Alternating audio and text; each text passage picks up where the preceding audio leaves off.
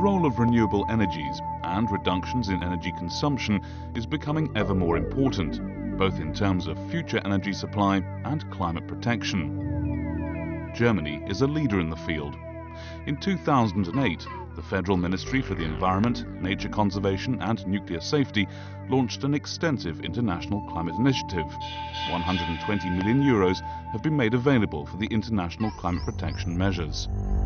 TREE, Transfer Renewable Energy and Efficiency, is one of the projects supported by the Ministry. The target audience for this knowledge transfer project comprises both specialist engineers and decision makers from the worlds of politics and industry. Participants are offered scholarships to come to Berlin and take part in the program. The concept behind TREE is the brainchild of RENAC. 300 participants from 14 countries are to be trained in renewable energies, energy efficiency and climate protection during one-week seminars. In providing this training, Germany is putting into practice the transfer of know-how to developing and newly industrialized countries as agreed in the Kyoto Protocol. Decision makers gain an overview of technologies, financing and implementation strategies. The courses offer them guidance and support which will assist them in setting up renewable energies and energy efficiency initiatives in their own countries.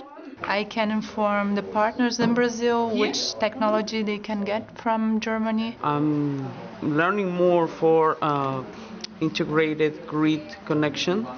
That it's one part that I didn't know very well. It's a great feeling to be back in schools and learning the basics.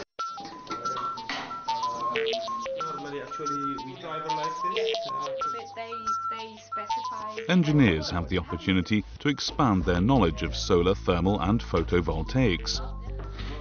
The professional equipment at the RENAC Training Centre facilitates practice-oriented qualification and it's here that engineers acquire practical planning experience and learn exactly how technologies are to be installed and maintained. Learning how to manage with this kind of technologies and uh, that is going to be very useful for my work. Solar projects are really important for my company, so I need to I get to learn a lot of things about solar projects. It's very important for me.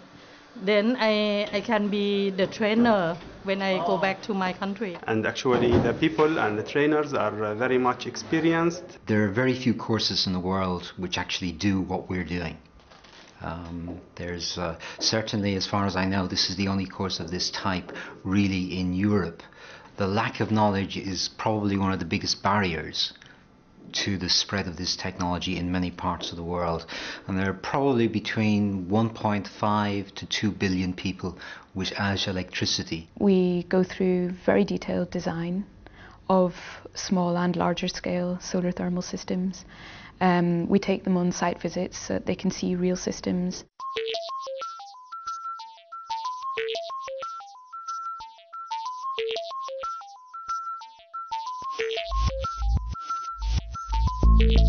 Both in the training centre and on excursions, participants make a wealth of new discoveries. During this visit to a houseboat with its own onboard solar power system, Carsten Zahner demonstrates the two solar collectors used for water heating and the 14 solar modules and battery system which provide electrical power. Afterwards, at dinner, guests have the chance to exchange experiences with one another and discuss possible implementation strategies with representatives from a variety of countries. An international network of experts is taking shape one result uh, I did not expect, uh, which was uh, a lot of interest to me, is that uh, people really um, want to get um, to create a network and get information from other participants from other countries. So now really this international exchange uh, can be started through this uh, network and this tree community so uh, participants can exchange their experience and also of course uh, get knowledge we provide through our lecturers.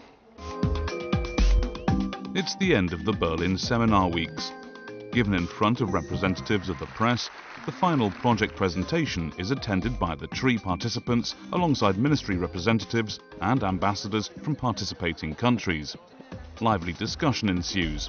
Satisfaction is voiced by all those involved. Together they celebrate the success of the project so far. My experience is that it is very valuable information. They take all this information and also this motivation back and go. I, I think they will go home and try to improve their situation. The participants return to their countries, where they will seek to apply the theoretical knowledge and practical experience they gained in Germany. This is by no means the end of the TREE programme. Distance courses are on offer throughout 2009. Working in partnership with the Berlin University of Applied Sciences, RENAC uses an online platform to deliver these follow-up programs. The platform offers the participants a unique opportunity for further practical study. Participants with questions or problems can take advantage of online help. Their knowledge is extended by individual consultations with renewable energy experts. The knowledge transfer continues. To be able to pass that knowledge on to countries that haven't got that experience yet is is really worthwhile. Um, we actually, in terms of climate change and in terms of uh, fuel security, we don't have much time left. 71 countries are already making commercial use of renewable energies. Over 50 of them are following the German sponsorship model. We're at the beginning of a century of ecology.